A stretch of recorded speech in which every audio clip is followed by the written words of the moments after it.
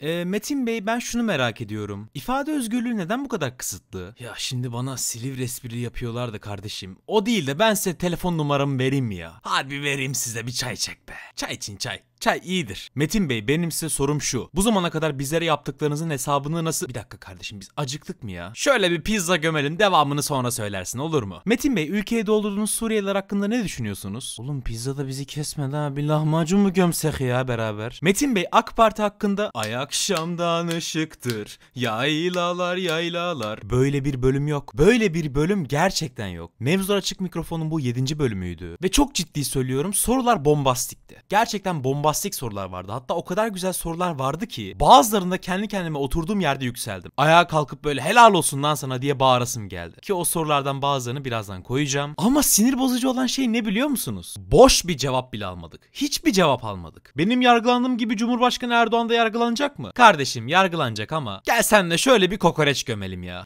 Yok ya İskender falan mı gömsek? Abi verilen cevaplar o kadar saçmaydı ki soruların hepsini bok etti adam. Ama şunu söyleyebilirim. Gerçekten salondaki insanları tebrik ederim. Ama tebrik ettiğim gibi birazdan da gömeceğim. Öncelikle şu yüzden tebrik ederim. Gerçekten çok sağlam hazırlanmışlar. O kadar güzel sorular sordular ki eminim bu programı izleyen bazı insanlar bu adamın bu sorulara cevap veremediğini anlayacak ve gerçeği öğrenecektir. Ama onun dışında siz zaten malum parti hakkında gerçekleri biliyorsanız izlemenize kesinlikle gerek yok. Hatta dürüst olayım 4 saatlik bir program fakat 2 saatini falan izleyebildim. Geri kalanına Twitter'dan falan baktım işte bazı önemli kısımlarına baktım. Hiçbir soruya net bir şekilde cevap vermemiş. Verdiyse bile cevaplar tatmin etmiyor. Yani ne bir soruya kısa bir cevap veriyor ne de uzun cevap verip tatmin edici bir cevap veriyor. Hiçbir cevap yok. Hatta geçen videomda bahsettiğim bir taktik vardı. Oradaki taktiğin aynısını yapıyor. Bin tane alakasız doğru söylüyor ve o doğruların içine kendi yalanlarını sıkıştırıyor. Dikkatli bir şekilde dinlerseniz adamı eğer diyorsunuz ki ulan yani tamam konuşuyorsun konuşmasına da konuyla ne alakası var? Biz sana bunu sormadık ki. Mesela bazıları 5-6 tane şey söylemiş. Adam onların içinden sadece cevap verebileceğine cevap veriyor. Diğerlerini cevapsız bırakıyor. Finalde kendisine sorduğun zaman da cevap vermiş sayılıyor. Böyle bir saçmalık vardı. Ve en sıkıldığım program oldu. Bakın Gergerlioğlu'nun programında bile bu kadar sıkılmamıştım. Çünkü adamın sorular karşısında tir tir titremesi, cevap vermeye çalışması ama cevap veremeyişi benim hoşuma gitmişti ve izlemiştim. Gayet de eğlenceliydi. İnanın ki bununla bir çözüm bulunmaz. O zaman çözümden önce terör örgütü müydü peki? Yaptıkları işler biraz terör değil miydi yani? Onu Ya merak e, şimdi e,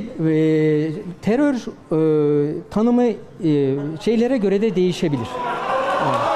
Ama bu adam hepsine kaçamak cevap verdi. Salondaki insanlara da şunu söylemek isterim ki yani çok güzel gidiyordunuz ama ta ki bir pizzaya tav olana kadar. Ulan adam salona girerken bir kişi bile alkışlamadı. Ne zaman ki adam pizza ısmarlayacağını söyledi, herkes alkışlamaya başladı. Ne yemeği? Bir daha söyle. Pizza.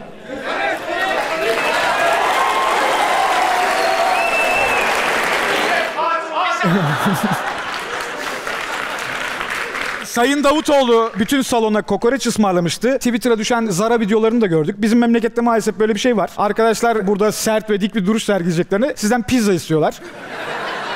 Bunda o kadar da büyük bir sıkıntı yok ama oradaki insanların bu pizzayı kabul etmemesini çok isterdim. Öyle büyük bir mesaj verirdiniz ki yani sosyal medya patlardı. Gerçekten patlardı. Kendi paranıza kendinize pizza almış oldunuz zaten. Çok da bir şey değişmedi. De neyse. Yine de biz sizden razıyız. En azından bu pizza yüzünden malum partiye oy vermezsiniz herhalde. O kadar da satmazsınız canım. Adam bir soruya bile cevap veremedi be. İnsaf be kardeşim. Bir de öyle bir şey yapmışlar ki tamam sonuç olarak AK Partili birisi bu programa çıkmış oldu. Ama bence sadece çıktık diyebilmek için çıkmışlar. Yani ne bir Süleyman Soylu geldi, ne Erdoğan geldi ki gelmez zaten. Ne Binali Yıldırım geldi yani AK Parti'deki önemli isimler programa gelmedi ki muhtemelen gelmeyecek zaten. Sırf geldik diyebilmek için çok da tanınmayan birisini koymuşlar. Ve bu yüzden de beni çok fazla tatmin etmedi. Ama sorulan soruların sertliğini Twitter'da gördüğüm için merak edip izlemek istedim. Ama dediğim gibi sadece sorular güzeldi yani. Hiçbirine cevap veremediği için bu seferki programdan mutlu ayrılmadım. Zaten bildiğim şeyleri doğrulamış oldum yani. AK Parti bildiğimiz AK Parti hiçbir şey değişmemiş. Neyse güzel bulduğum sorulardan bazılarına bir göz atalım. 2014 yılı Düzce Üniversitesi girişliyim. Bir devlet üniversitesi olmasına rağmen Bankasya ile anlaşmalı olduğu için bizim öğrenci kimlik kartlarımız Bankasya üzerinden çıkartıldı. Hiçbir zaman yemekhanede yemek yiyemediğim için Bankasya hesabına ne 10 lira girişim oldu ne de başka bir hesaplardan bir para transferi olmadı. 2018-2019 yılında askerlik görevimi yaparken kendi dosyam üzerinde şöyle bir ibare olduğunu gördüm. Özellikle vurguluyorum. Başında ünlem işareti vardı. Kırmızı kalemle yazılmıştı. 2014 yılında da aktif hesabı bulunmaktadır ibaresi vardı. Benim sicilimde böyle bir şey var. Banka Asya'nın açılışında bizzat bulunan Sayın Cumhurbaşkanımızın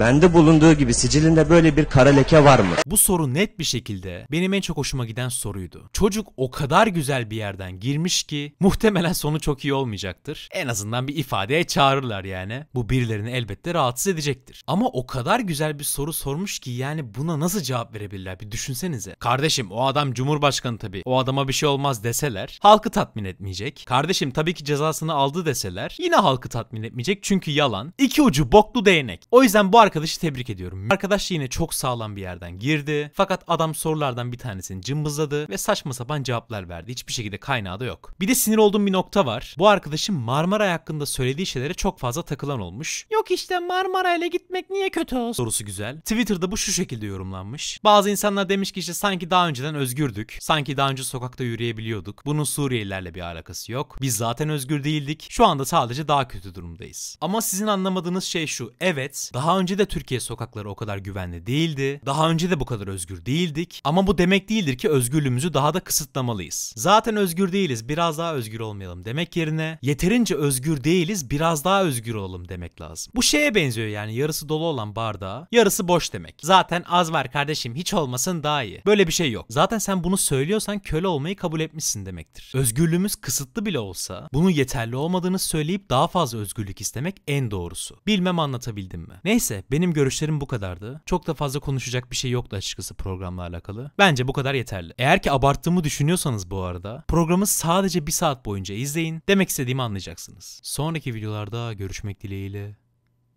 Hoşçakalın.